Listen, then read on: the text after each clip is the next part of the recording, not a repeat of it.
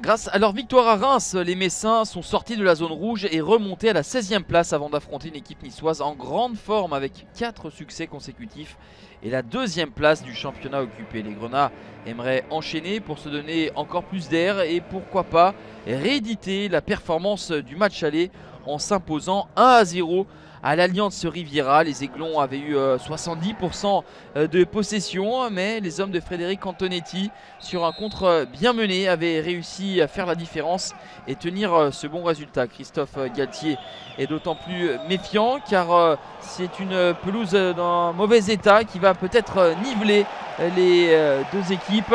Pourtant, ce sont bien les Aiglons qui son dominateur en début de match avec une première opportunité pour euh, Amine Gouiri et c'est sorti du pied par euh, Marc Aurel Caillard, encore titulaire en l'absence euh, d'Alex Oukidja qui était à la canne avec les Fennecs algériens.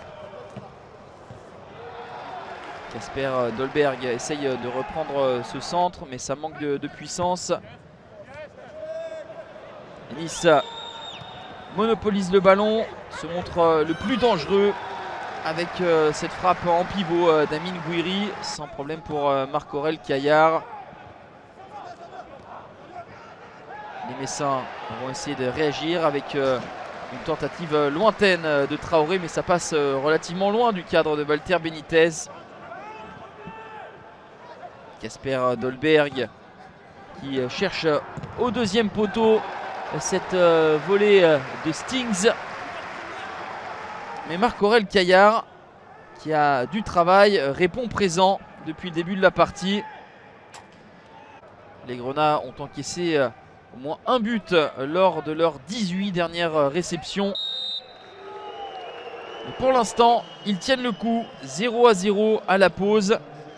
Nice qui a remporté 7 victoires à l'extérieur depuis le début du championnat fait le nécessaire. Mais pour l'instant, elle n'arrive pas à marquer.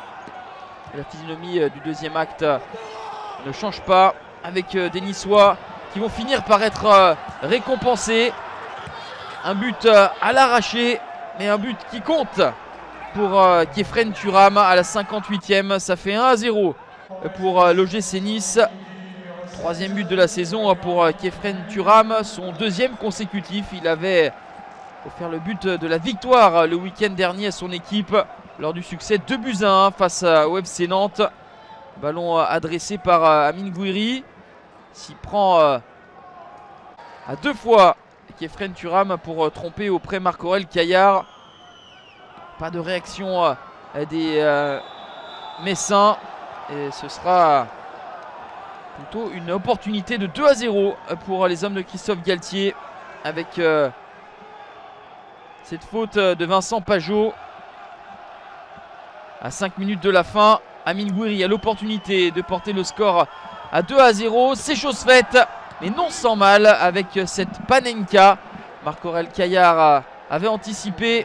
Il en revient sur euh, ses appuis, mais sa main n'est pas assez ferme. Dixième but de la saison pour Amine Gouiri.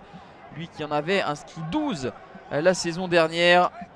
Nice s'échappe 2 à 0, ce sera le score final. Meilleure équipe du championnat à l'extérieur. Nice signe un huitième succès en 11 matchs hors de ses bases et s'accroche à la deuxième place. Metz retrouve celle de barragiste.